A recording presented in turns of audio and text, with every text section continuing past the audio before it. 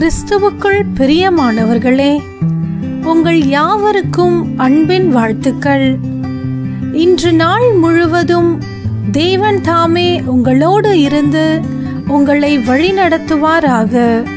இன்றைய நாளுக்காக தேவன் அருளும் வேத வசனம் ஏசாயா ஐம்பத்தி எட்டாம் அதிகாரம் எட்டாம் வசனம்.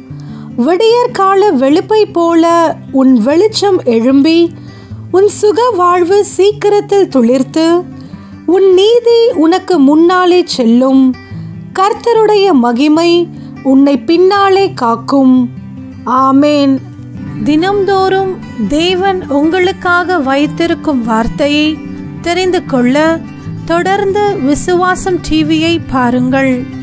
தேவன் தாமே உங்களை ஆசிர்வதிப்பாராக. ஆமேன்.